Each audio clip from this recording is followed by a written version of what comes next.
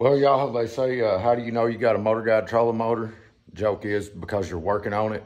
Uh, this one here at my last tournament, the night before the tournament, just started not powering up for whatever reason. Took it all apart, checked all my wiring, nothing was wrong. Wired battery straight to the control board, nothing, nothing worked. I pulled it back to the Airbnb and it started working miraculously. It made it through the tournament the next day. It did shut off twice, but powered right back up. So I came home, I ordered a new, I guess it's called a control board. It's the only thing in there that can go wrong with it as far as powering up and, and not working. So this is the Motor Guide XI3 24 volt model, and we're gonna put a control board in it today. So I've got, uh, the control board here. I got it from uh, trollingmotorparts.com. It can look a little intimidating. There's only like six or eight screws that hold this thing together. I paid $195.95 and it took three days to get this. Um, if you'll look, this wire I know is for my uh, NMEA system. These two wires, I'm not sure exactly what they'll go to. I think they go up for the GPS system part of it. And then this little thing right here is the antenna that makes your remote control work. So I've not looked up any YouTube videos on this. I'm completely winging it. I know I need a screwdriver, a long screwdriver because up in this head unit, the screws are pretty far up in there. So I'm gonna start by taking all my covers off, get all that pulled apart, and then we'll see where we're at from there. Okay, so here you'll see I've got the covers pulled off. This just slides up and out. And then if you'll depress the little foot pedal, and then you can reach in here, I'm trying to do this with one hand, you can pull this little plug loose, and this little thing just comes right up. That's just your lights and all that's all that is. Then you'll see the little black piece here. That's what your antenna is gonna attach to. You can pull that up. I don't know if I'm gonna have to take this foot pedal mechanism out. I don't think I will. No, I don't think I will. I can see all the screws. There's right there. There's one in this corner here. A wire screw there. This just pulls up and out. And then there's the other two wires that I was talking about that goes up for my GPS. And you'll see this uh, dielectric grease on all these. It's going to get all over you, so don't worry about that. Not a big deal. I won't put any back on it. I probably should just to keep corrosion down because this does get wet from time to time. But I'll pull all that out, and then I'll see where I'm at from there.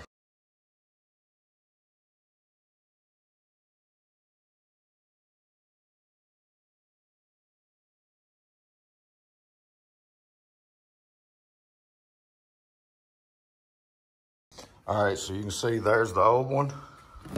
There's the new one. Something I do suggest for you guys to do is take a picture of where all the wires go on here before you take it apart. I didn't do that, but it's just, I got the video that I'm making you guys to see where they go back at, to look back at if I need to. It's basically red wire on the incoming side, red and black goes to the red wire coming from the trolling motor and the white wire goes by itself and the black wire goes by itself and then the rest of them just plug into the responding colors. So we'll uh, get this other one slid back down in here and see how it goes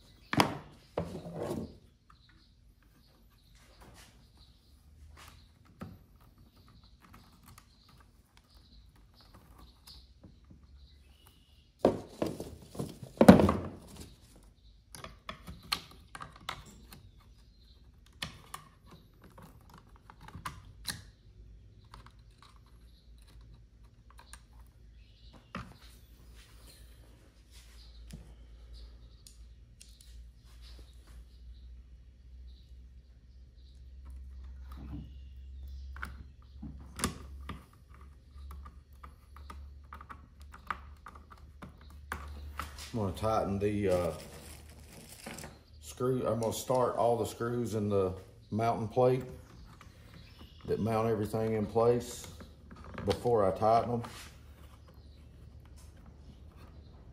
Get them all started.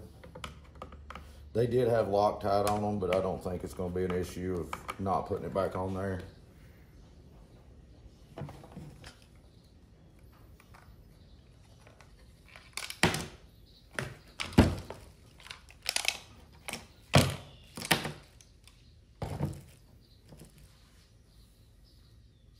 This is tight getting down in here to this stuff, so.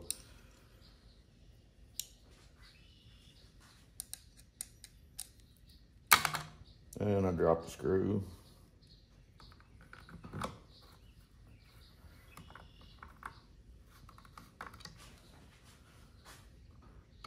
Come on there, buddy.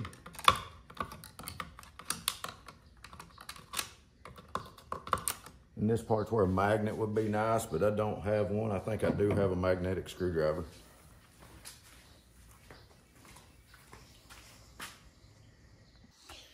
So I didn't have a magnetic screwdriver, so we're gonna use a pair of scissors. I don't know if you guys can see because of my big head or not, but pulled it right out of there. Stuff like this is all about improvising when you don't have what you need.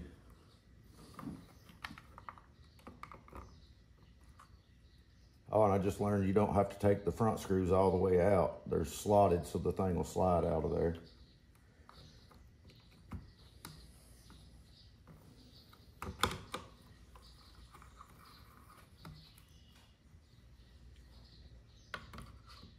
And I'm not a professional trolling motor repairman by any means.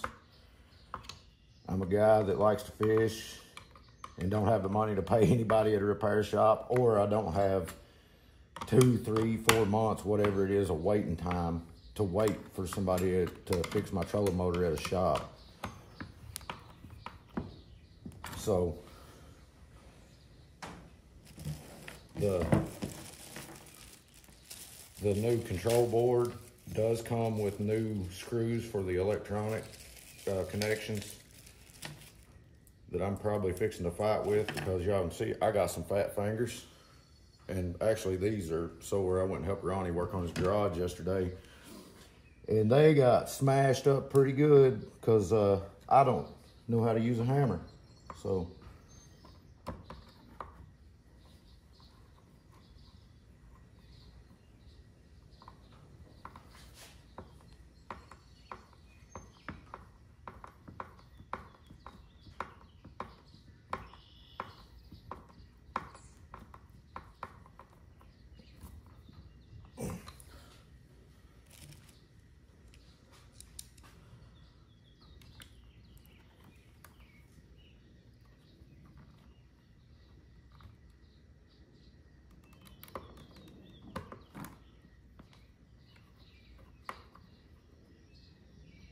what's that old saying? A, a jack of all trades and a master of none. Oh. And I may have to take some of this back apart here in a minute when I get a little further and realize that I didn't do something right or I'm pretty confident that I am, but I'm also not above screwing up. So I know it's really important not to break that little guy. Probably should have watched a YouTube video on this, but why watch one when you can make one, I guess. Let you guys learn from my mistakes.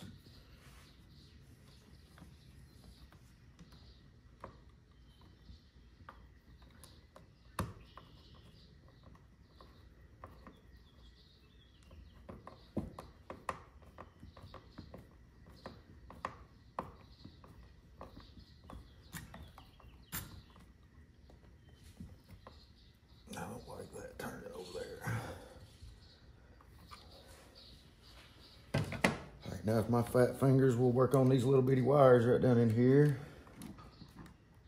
Actually, we probably need to put this together first. That would probably be a wise idea.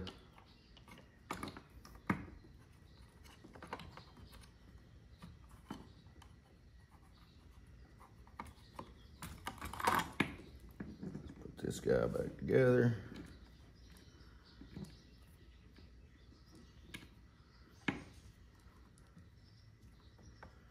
And this guy slides right down in there, like so. That guy goes in this little hole, like so. This guy needs to come out from under there so I can get to it. And this guy clips in right here.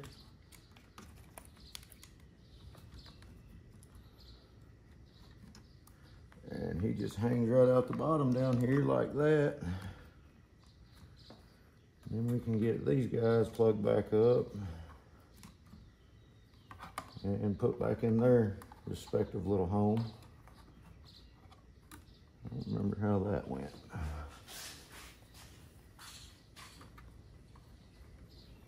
Okay, yeah, this lays right in there. Comes around here.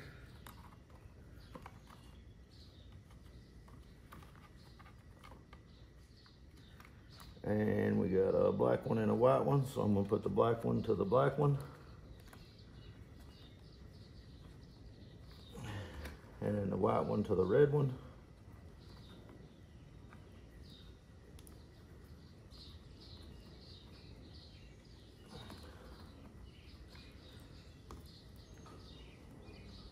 Okay, that's been a little tougher to push back in there.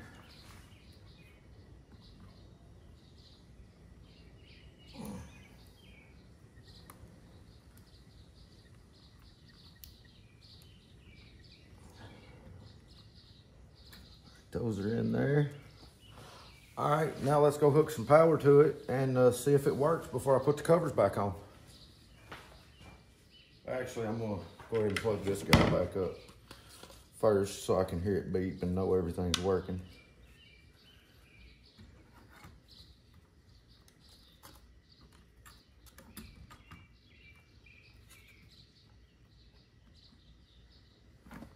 There we go. Just lay that there because I have to take it back off here in a second.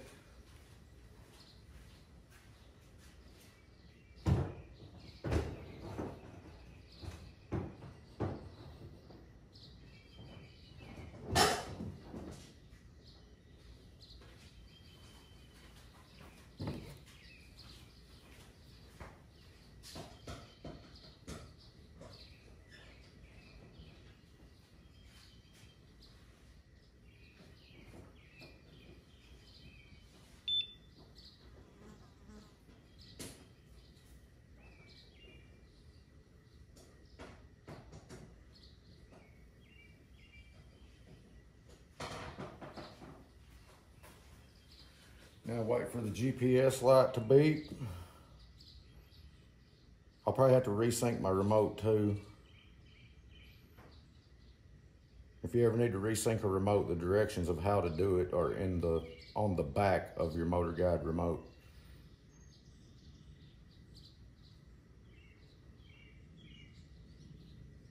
Oh, it won't get GPS in here. It might, we'll try it and see. Sometimes it won't get GPS in this metal garage, but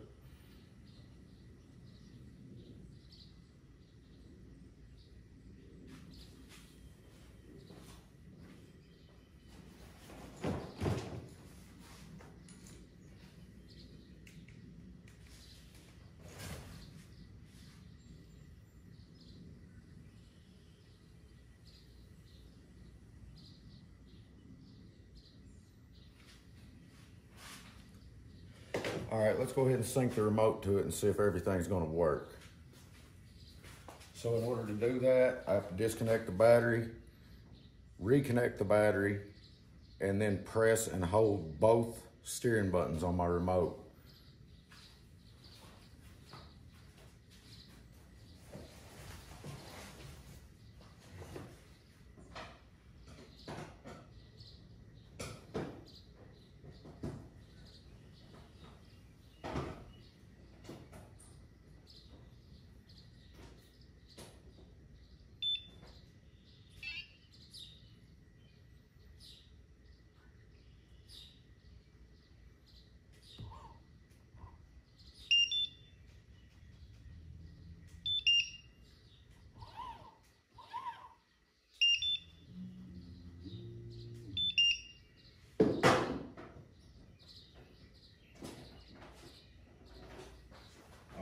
Everything's working like it should. I'm gonna go ahead and button all this back up. I'll take this back off of here.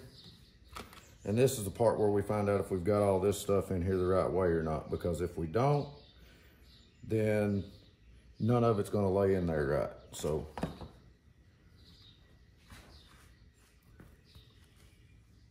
let me get my cover for the little antenna thing. It's got a little pill and stick deal on it. Got a little sticker on it right here.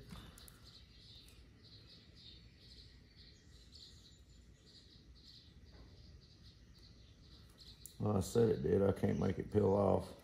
There we go. It's got a little slot. Let's see here. It goes like that.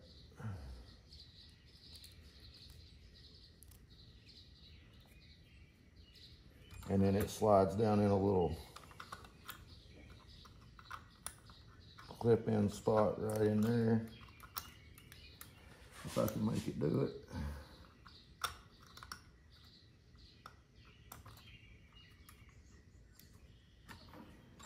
Just like that.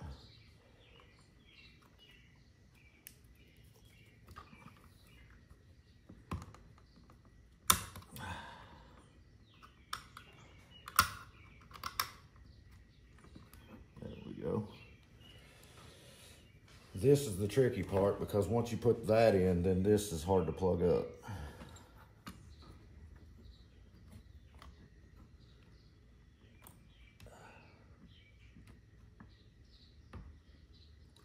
There's that. Now if I can get this to stay.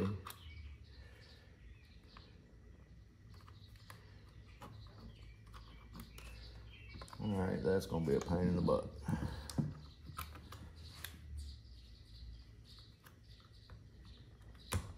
There we go. This has to slide down in there.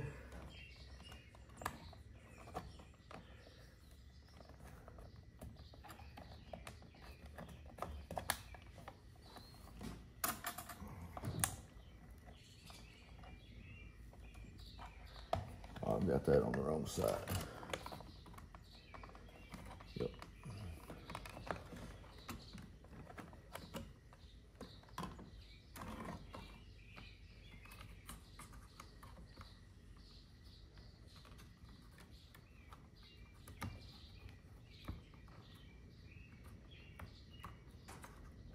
Uh, Unclip these. See, I knew I'd screw something up, guys.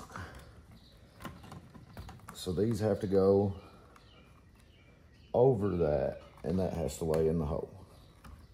You guys are probably watching at home going, you dummy. But that's all part of it. I didn't go back and look at the video to see how it all laid in there. I tried to use my memory, which uh, ain't that good.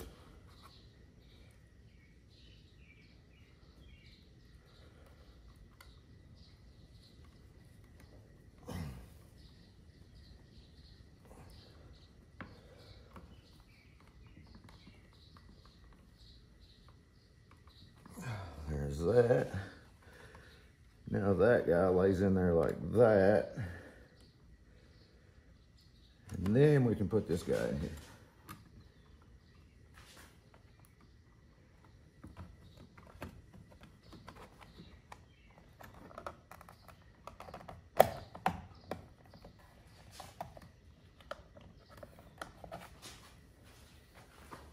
The main thing here, guys, is make sure you don't pinch any wires.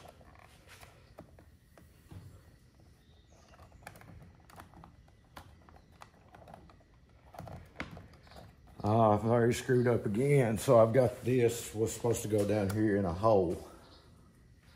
I think I can still feed it through there maybe without taking it all back apart.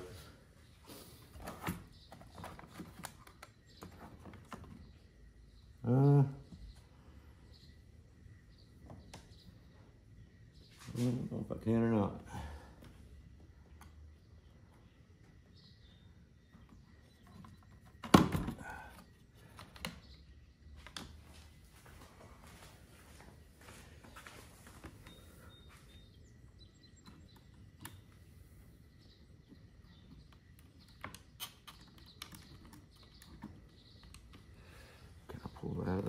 See.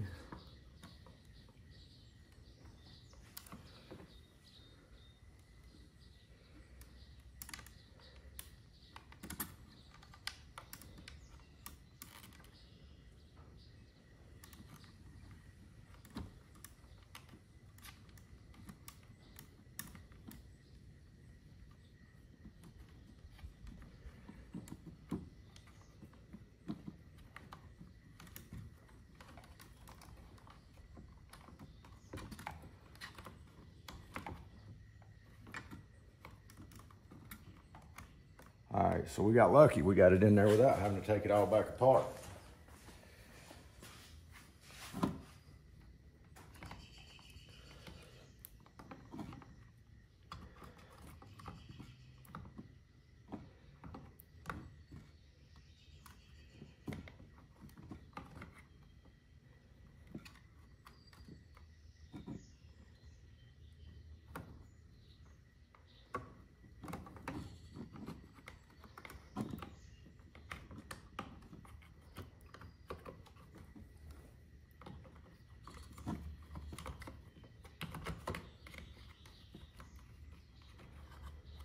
Now we're cooking with grease.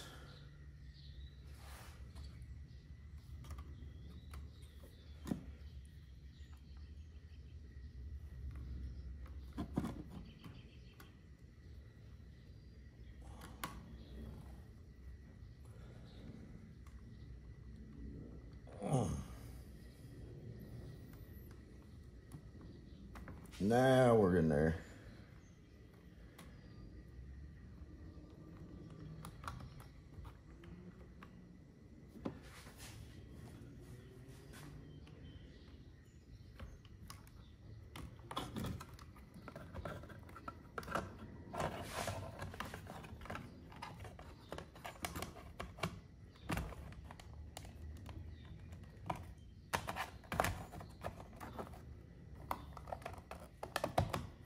Now we're in there where we're supposed to be. Now we can put these little side covers back on.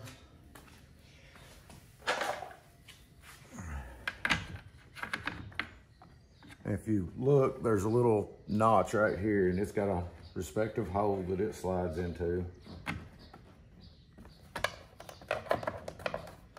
And these things can be a pain to line up, so.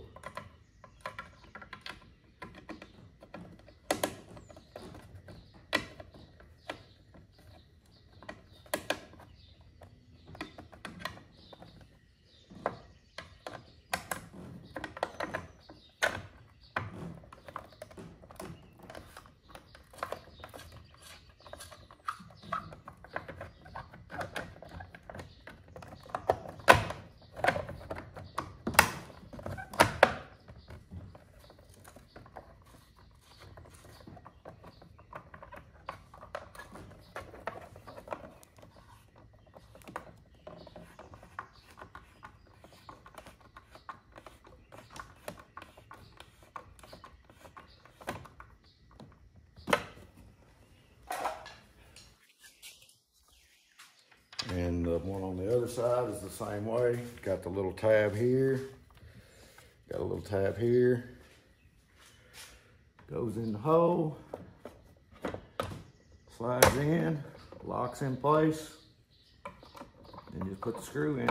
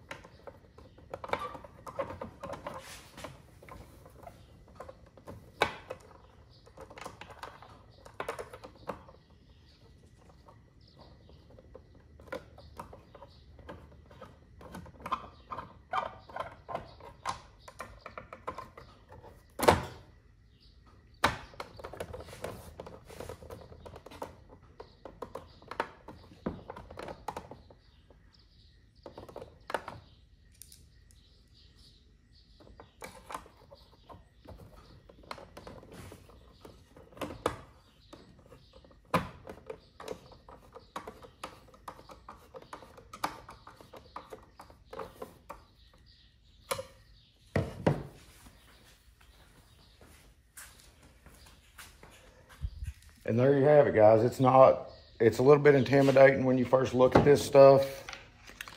I mean, that looks intimidating to work on. It's not that bad. It's uh, four, five, six, seven, nine screws, I think is what it takes. And as long as you, like I said, take pictures of where your wires go and don't do like I did and run it wrong and then go back and look at your pictures and have to do it two or three times, it's easy. Um, if you like the video, please like it, comment, subscribe, leave me questions. If you guys have any questions about anything, I probably won't take something apart to show you to answer a question, but I'll explain it the best I can. Um, Another video coming up on the DIY side of what I do is probably plasti welding on another kayak, so stick around for that.